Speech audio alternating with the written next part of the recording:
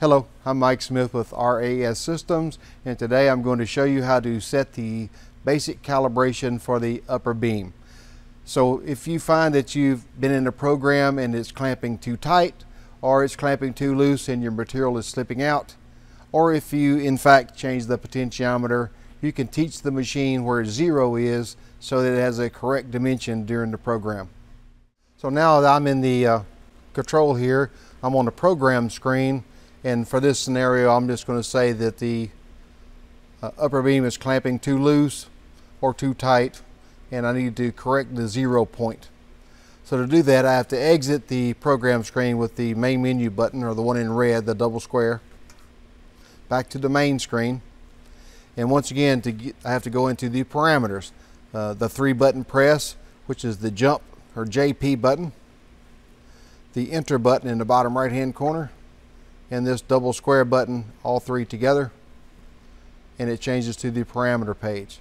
From this page, um, of the two basis buttons at the bottom, I'm going to select the one with the upper beam shaded in, which is F5. It takes me to the upper beam basic calibration screen. The bottom number on the right hand side of the screen shows me where the beam actually is at this moment in millimeters the numbers on the left, the zero minimum position and the potty voltage, which in this case would equate to zero. So 1.5 volts would equal zero. So I'm going to clamp the beam down using the F8 key, which I have to press and hold. And then I'm going to press the left foot pedal halfway down and the beam is going to begin to clamp. Now once it's clamped tight, and there's no visible daylight underneath the beam, we can assume that that's zero. But the machine believes that it's still open three millimeters. So to correct this, I'm simply going to press the F2 or teach in button, which sets the potentiometer voltage listed at the top into this position. And the millimeter dimension on the left changes, on the right changes to zeros. And I can use the up arrow key to raise the beam, which is F7. And it's going to start to lift. And I'm going to raise it to its maximum position, which is 130 as it should be. And then just again, I'm going to test my zero by pressing the F8, holding it and pressing the left foot pedal halfway. The beam begins to drop, counting as it goes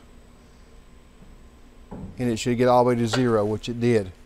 Now if the beam is a little too loose or too tight, you can simply place the beam at zero or tight and set the zero position. If you find that you are, I'm going to raise it up to say two millimeters and tell it just for now that that's zero and that's as far as it will ever go.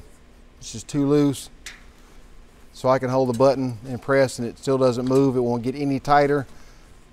All I would do then is I would highlight the potentiometer number over on this side by pressing the cursor buttons, which moves it to the middle. Just keep pressing the right hand cursor button